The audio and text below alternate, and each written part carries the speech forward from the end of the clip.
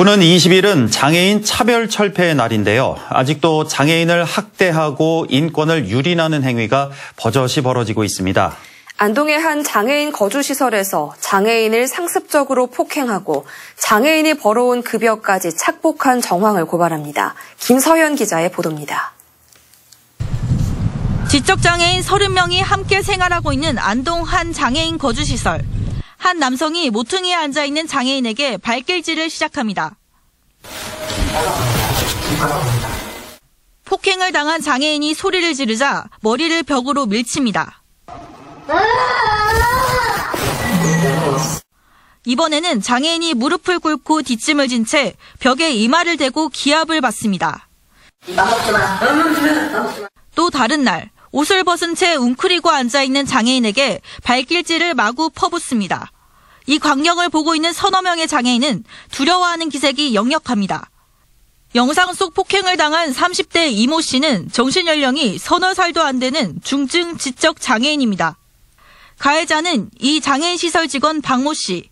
마음에 안 든다, 말을 잘 안 듣는다는 이유로 10여 년 동안 수시로 폭력을 휘둘렀다는 내부 증언이 나왔습니다. 그게 루틴이었습니다. 생활관에 들어오면 10번을 들어오면 한 최소 8번 정도는 그런 식으로 다 했었고요. 그냥 자기 눈에 거슬린다거나 그럴 때가 폭행에 대해 내부 직원의 문제 제기가 있었지만 묵살됐습니다. 가해자 박 씨는 18년 전 시설 설립 때부터 근무했던 이사장의 처조카입니다. 거기 폭행건에 대해서 보고가 들어간 걸로 알고 있는데 거기에 딱히 뭐딱 배달은 조치가 없었던 걸로 기억하고 있습니다. 뭐 어떻게 때리느냐, 뭐 어떻게 했느냐, 지금도 때리느냐, 뭐 그런 식으로 묻지도 않고 그냥 시설의 실질적인 운영자인 이사장의 여동생이 장애인들의 급여를 착복한 정황도 확인됩니다.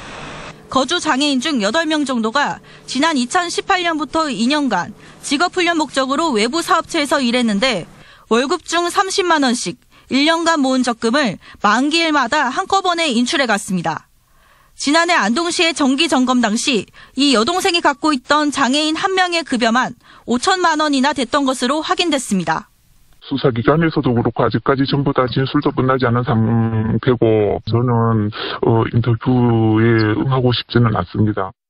최근 이 시설의 내부 비리를 신고받은 경북 장애인 건익 옹호 기관은 장애인을 폭행한 직원 박 씨를 분리 조치했고 이사장과 여동생 등을 상대로 횡령과 각종 학대 정황을 조사하고 있습니다.